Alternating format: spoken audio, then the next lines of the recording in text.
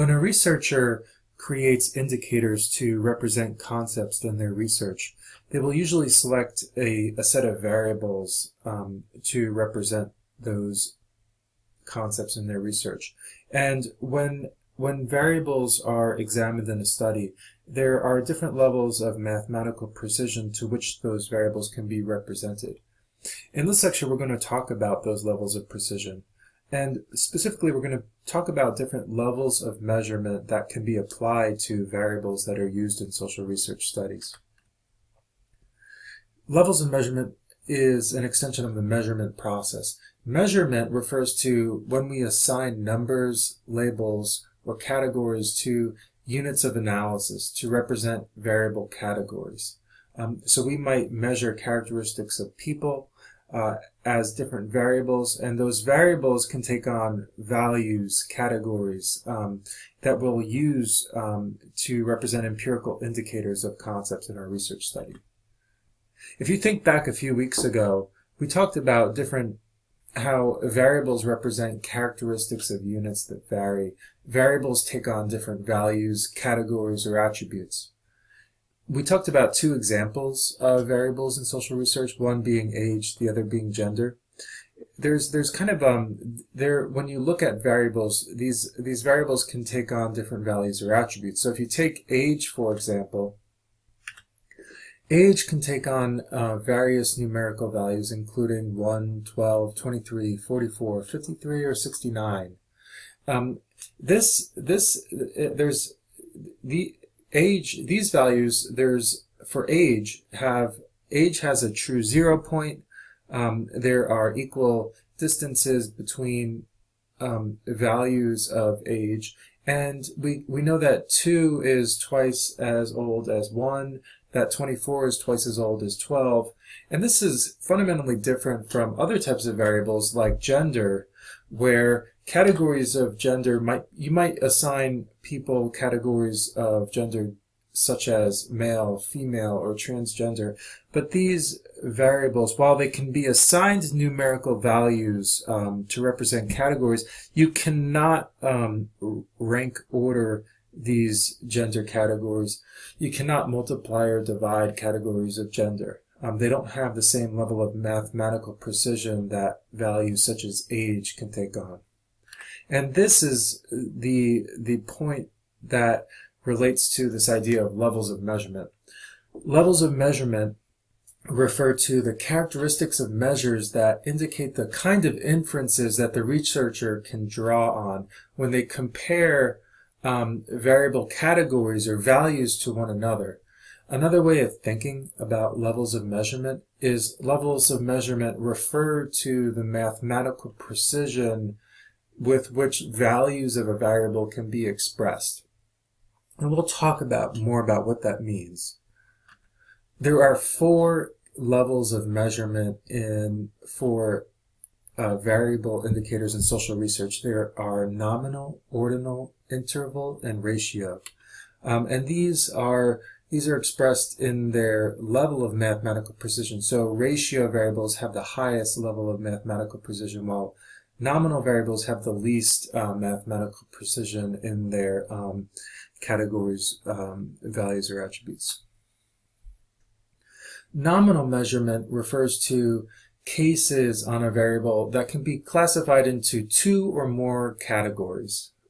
The numbers might be applied to a nominal variable, but only to indicate the uh, label of category measurement. For instance, we might code um, gender uh, as one, two, or three, depending on some, whether somebody is male, female, transgender. And that might just be used as a, a categorical variable in a, a research study. Um, categories on a nominal variable cannot be ranked or ordered. Um, also, it's important that categories on a nominal variable are mutually exclusive so observations can only be classified into one category. They can't be classified into two categories. Also, that's that that means that they're mutual ex, mutually exclusive. Also, um, categories on a nominal variable must also be exhaustive so that every obser- every possible empirical observation can be classified into one of the categories that exists for that variable. One example of a nominal variable would be political party affiliation.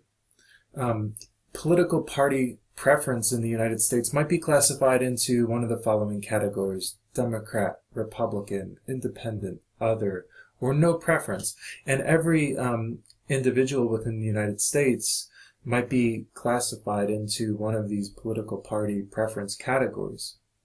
They are mutually exclusive in that if you're a Republican, you don't fit in the Democrat box. Um, if you're independent, you don't fit in the Republican box.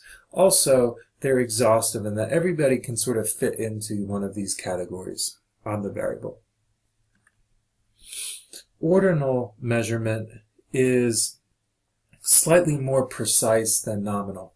So on an ordinal measure, the observations on a variable can be ranked ordered, that one is greater or lesser than another value. One value can be ranked higher or lower than another. Um, so the numbers assigned to a variable might indicate their rank ordering of cases. An example of an ordinal variable might be um, the responses to a depression screening that somebody, a patient might receive when they go into a doctor's office. Uh, many, many physicians use and nurses use the Patient Health Questionnaire 2, the PHQ-2, to screen for depression in patients. Um, and responses, it's a very simple uh, screening questionnaire. It's just two questions. And responses to each of the questions can be ranked ordered. And there are four values, 0, 1, 2, 3, where 0 refers to not at all, 1 refers to several days, 2 refers to more than half the days, and 3 refers to nearly every day. So we know that nearly every day is greater than not at all, that more than half the days is greater than several days. Um, so responses to each of these questions can be ranked ordered, and that's what makes it an ordinal variable. Interval measures are even more precise than ordinal measures. So interval measures, the observations on an interval measure can be ranked, um, ranked and ordered, as well as on an interval measure, the interval measure, there are equal distances or intervals between numbers that are assigned to that variable. The researcher, because there are equal distances or intervals between numbers assigned to the variable, the researcher can perform basic mathematical operations on that variable, such as addition or subtracted. So values can be um, added or subtracted from one another. However, because there is not a true zero point on an interval measure, the researcher cannot multiply or divide values on the variable. They can't perform ratios. An example of an interval variable might be the um, Fahrenheit temperature scale. Values on the, on the Fahrenheit temperature scale can be ranked and ordered. We know that 90 degrees is higher than 80 degrees, and we know that 50 degrees is higher than 40 degrees, and we know that 30 degrees is lower than 40 degrees. Um, there are equal intervals between degrees on the scale. Um, so we know that the interval between between 41 and 40 degrees Fahrenheit is the same as the interval between 32 degrees and 31 degrees Fahrenheit. However, the zero degree point on the Fahrenheit scale is somewhat an arbitrary point on the scale. There are values less than zero, and because of this, we can't say that we can't multiply or divide values on the Fahrenheit temperature scale. So we can't say that 100 degrees Fahrenheit is twice as hot as 50 degrees Fahrenheit. The, there is not enough mathematical precision on the Fahrenheit temperature scale because it's an interval variable. There's not a true zero point. Um, so we can't perform, we can perform addition and subtraction, but we can't perform multiplication and division. The highest level of measurement on variables in social research is ratio measurement. There are, there are three characteristics of ratio measurement. Observations on a ratio measure can be rank ordered. There are equal distances or intervals between numbers assigned to the variable.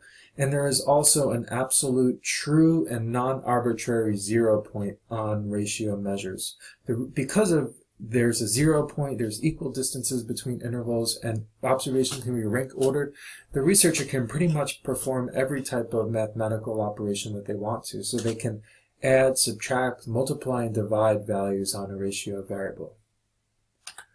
An example of a ratio variable might be annual household income. Annual household income is a ratio variable because values can be ranked, ordered, there are equal distances between values on the variable. Um, we know that 20 the, the interval between ten and twenty thousand dollars is the same as the interval between twenty and thirty thousand dollars.